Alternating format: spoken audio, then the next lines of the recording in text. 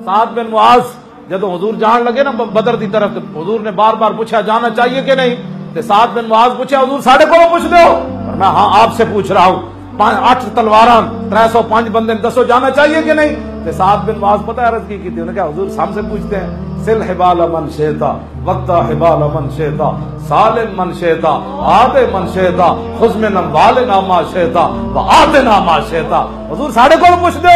ऐ बदर खड़ा हुक्म तो दो कैसर किसर ना भी जंग छेड़ के रहा हाँ, हुजूर के चेहरे के तो पहले ही मान नहीं है और मैं हुजूर का चेहरा और चमक उठा इससे बड़े कोई मुबालगा हो सकता है ਅਸੀਂ ਦੋ ਬੱਤੀਆਂ ਲਾ ਦਈਏ ਕਹਿੰਦੇ ਨੇ ਆਪ ਮੁਬਾਲਗਾ ਕਰਤੇ ਆ ਮੈਂ ਕਹਾ ਮੁਬਾਲਗੇ ਦੇ ਪੁੱਤਰਾ ਇਸ ਤੋਂ ਵੱਡਾ ਕਿਹੜਾ ਹਜ਼ੂਰ ਦੀ ਸ਼ਾਨ ਵਿੱਚ ਮੁਬਾਲਗਾ ਹੈ ਬੰਦੇ ਹੋਵਨ 305 ਖਜੂਰਾਂ ਖਾਣ ਦੀਆਂ ਨਾ ਹੋਵਨ 8 ਤਲਵਾਰਾਂ ਹੋਵਨ ਤੇ ਸਾਹਬੀ ਕਵੇ ਜਨਾਬ ਹੁਕਮ ਤੇ ਦਿਓ ਜਿਤਨਾ ਮਰਜ਼ੀ ਜੰਗ ਲਾ ਦਿਓ ਅਸੀਂ ਹਾਜ਼ਰ ਹਾਂ ਤੇ ਮੇਰੇ ਆਕਾ ਨੇ ਨਹੀਂ फरमाया ओए बंदा होश नाल गल करना, इतनी भी जोश की क्या बात है? मेरे आका खुद चाहते हैं कि मेरी उम्मत मेरी शान में मुबालगा करे। इससे बड़ा मुबालगा कोई हजूर खुद चाहते हैं। हजूर का चेहरा अनवर मजीद चमक उठा। तो जब हज़रत साहब मैदान खंदक की तीर लग गया ना, इबन आराका मारिया, मैं हजूर ये गल करना होना, जेड़ा हजूर दे दिफा का काम करे ना अगर उसनु कोई गल सख्त कर देवे तो हजूर अपनी तरफों जवाब देंगे मैदान ने खंदक खिंचना इबन अरका हज़रत साहब नीर मारिया। उन्हें कहा, खुद आ माना इबन अराका। हूँ मज़ा चखे ही मोहम्मद अरबी की तरफ़ आया बैठा, मेरा तीर जल। जो उन्हें गल की ना तो मेरे आका ने अगो जवाब दिता, फरमा हर अल्लाह वजह का फिर नार फरमा, तू मेरे गुलाम नु तीर मार के गल की मैं अपने गुलाम की तरफ़ तेन देना अल्लाह तेरा चेहरा जानना उड़ा दे क्यों जी एवं गल करना। परेशान उलमा नहीं होना चाहिए जे दीन वास्ते गल करोगे तो माले खुद थोड़ी तो तरफों गल कर। क्यों जी, मैं गल अगली हूँ सर समझो। हजूर का चेहरा अनवर चमक उठा ना तो मैं इतने गल करना। जो सात बिन मुआज की अपनी वारी आई ना जी सात बिन मुआज की अपनी वारी। साहबा कहते सात बिन मुआज जो घर लै गए ना उन्होंने ਤੇ ਸਾਦ ਬਿਨ ਮੁਆਜ਼ ਦੀ ਤਰਫ ਘਰ ਦੀ ਤਰਫ ਹਜ਼ੂਰ ਇੰਜ ਚੱਲੇ ਤੇਜ਼ੀ ਨਾਲ ਕਿ ਸਾਡੇ ਮੋਢੇ ਦੀਆਂ ਚਾਦਰਾਂ ਡਹਿ ਪਈਆਂ ਸਾਡੇ ਜੁੱਤੀਆਂ ਦੇ ਤਸਮੇ ਟੁੱਟ ਗਏ ਅਸਾਂ ਅਰਜ਼ ਕੀਤੀ ਹਜ਼ੂਰ ਹੈ ਸਾਦ ਬਿਨ ਮੁਆਜ਼ ਇੱਥੇ ਤੇ ਘਰ ਇਤਨੀ ਜਲਦੀ ਕਿਹੜੀ फरमाया हम इसलिए जल्दी जा रहे हैं कहीं कहीं हमारे जाने से पहले सात बिन मुआज को अल्लाह के फरिश्ते आसमान पर गुसल देने के लिए न ले जाए इकबाल है वे नहीं गल की थी कि मोहम्मद से वफा तुमने एक गप नहीं लाई इकबाल साहब बिन साहबा कहते हजूर जो अंदर गया ना कमरे कले साहब बिन मुआज की चारपाई पई सी। हजूर इंज पाँव रख रहे सन भाई जिमें जा पाँव रखने की जगह कोई नहीं जब हजूर बहर तशरीफ़ लिया तो असा रज की हजूर बंदा तो अंदर ऐसी कोई नहीं तो तुम पाँव मुबारक इंज रख रहे सी अंदर जगह ही कोई नहीं और मैं अल्लाह के फरिश्ते इतने बैठे सन भी जगह ही कोई नहीं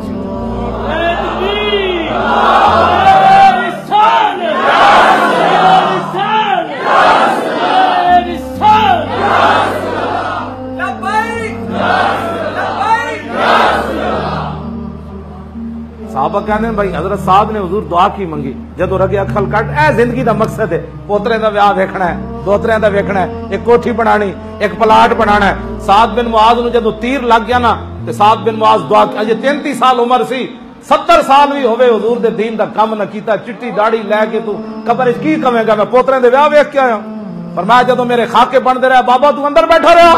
मेरा बुढ़ा साहब छियासी, साढ़े छियासी साल उम्र हज़रत अमर बिन मादी करब दी जंगे जरमू के चले गए। ऐसे बुढ़े सिर्फ़ हजूर फिल्मा देखने वास्ते रह गए। हाँ जी। केवला दे सान बुढ़े साहबी, नाबीना साहबी, अब्दुल्ला इब्न उम्मे मखतूम भी चले गए। कटे हुए हाथ ना हज़रत अमर बिन तुफैल दोसी भी चले गए। कोई नहीं उजर कर सकेगा क्यामत वाले दिन कि जनाब मेरा ढिड दर्द सी तो मैं ता नहीं सी बाहर निकलिया। हाँ जी।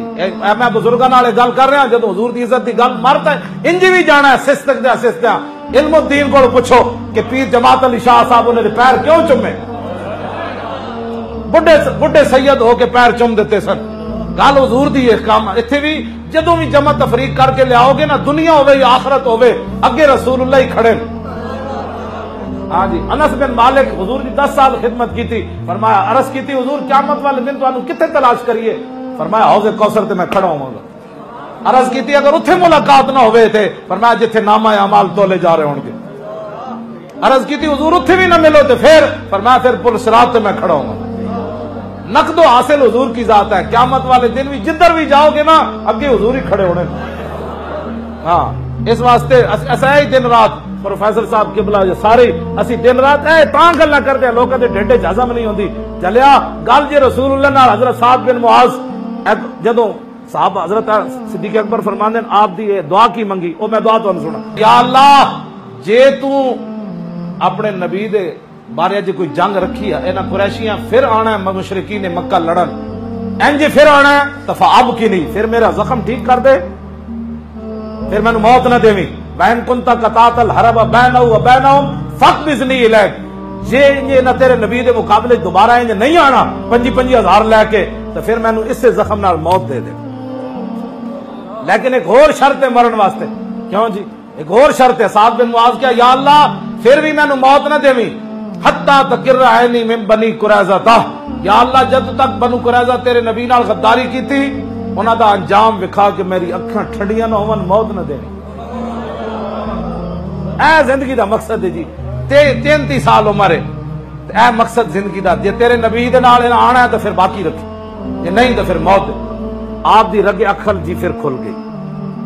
सिद्दीक अकबर फरमान ने, हजूर ने हाथ चुक के ना इतने रखे सात बिन मुआज खून जरा हजूर के चेहरे अनवर से बह रहे मैं हजूर इतने गल करना, कि जरा रसूल उल्ला खुश करे तो हजूर ने दसिया क्या क्यामत तक, असि तो खून भी अपने चेहरे अनवर से लै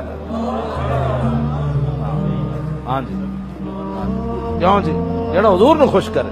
आज लोग घरों को खुश करते हैं। कहते छोड़ो जी, इतनी सख्ती नहीं होनी चाहिए, इतनी इंज नहीं होना चाहिए। इतनी नहीं होना चाहिए। यादीना ए, हज़रत साद बिन मुआज दी धमकी उत्ते नाजिल हुई।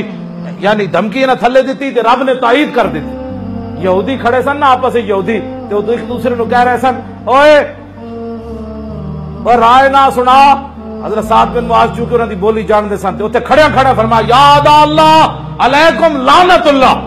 फरमा अल्लाह दे दुश्मनों तो आड़े उत्ते लानत होवे ओए नयन समय तो आमिर रजुल यकूल रसूल अदरे बनना उन्होंने अज तो बाद मैं किसी को सुनिया उन्हें राय ना हजूर न क्या? मैं ओदी दौड़ ला देंगे अजय हजूर की बारगाह नहीं गए। अपने को फैसला सुना के गए। ए गल जो आपने की ना तो यूदिया को कह लगे तुम भी तो राय ना नहीं कहते साहब के नवाज़ हजूर की बारगाह चले गए। उन्हें क्या हजूर मैं अज साहब जवदियों को सुनया बड़ा खतरनाक लफ लेकिन उन्होंने मैंने अगो क्या कि तुम नहीं कहते उस वे जबरी ला गए। मैं या मेरे हबीब याजीना